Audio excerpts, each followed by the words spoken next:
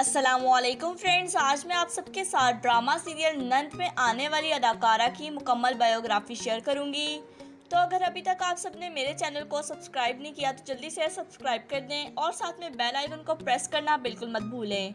तो चलते हैं वीडियो की जानेब। इनका पूरा नाम फ़ायज़ा हसन है।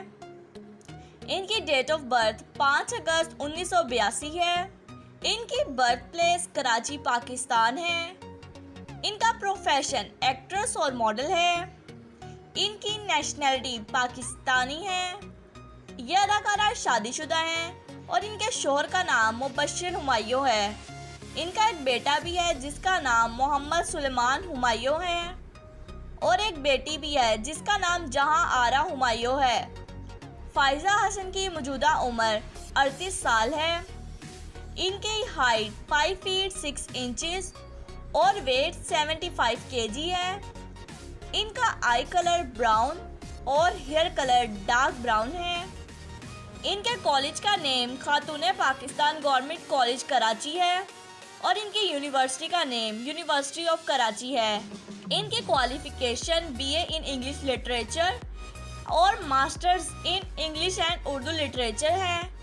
इनका रिलीजन इस्लाम है और इनका होम टाउन कराची, पाकिस्तान है। ये अदाकारा अब तक कई मशहूर ड्रामों में अपनी अदाकारी के जोहर दिखा चुकी हैं।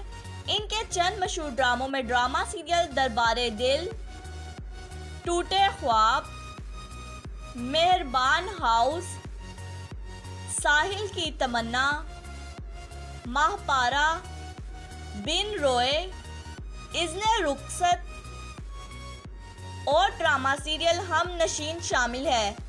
इसके अलावा ये अदाकारा अब हमें ड्रामा सीरियल नंद में अपना अहम किरदार अदा करते हुए नज़र आ रही हैं।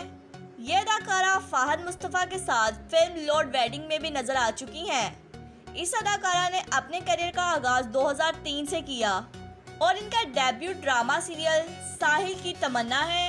ये ड्रामा सीरियल पीटीवी पर नशर किया गया। ये अदाकारा अब तक कई टेलीफिल्म्स में भी नज़र आ चुकी हैं।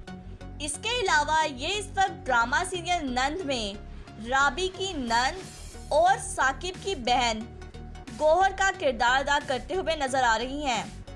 तो मुझे उम्मीद है फ्रेंड्स, आप सबको आज की वीडियो पसंद आई होगी। आज के लिए मुझे इजाज़त दें। अल्लाह हाफिज़।